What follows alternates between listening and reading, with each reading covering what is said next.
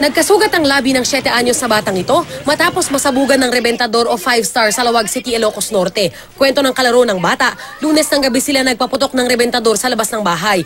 Pero pag sindiraw ng biktima ng mitsa, bigla niya itong sinubo.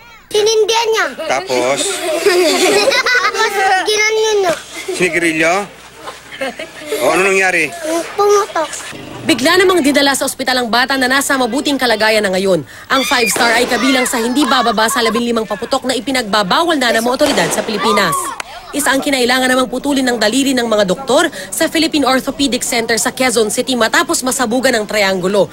Ligtas naman na at na-discharge na sa ospital. Ang mga ospital sa bansa nakahanda na sa firecracker-related injuries na karaniwang dumarami kasabay ng pagsalubong sa bagong taon. May nakahanda na silang mga gamit at pang first aid at surgical equipment para sa mga biktima ng paputok. Sa kabila raw kasi ng mga paalala ng mga otoridad na mag-ingat at iwasan ang paggamit ng mga paputok, may nagpapaputok pa rin at may nadidisgrasya dahil dito.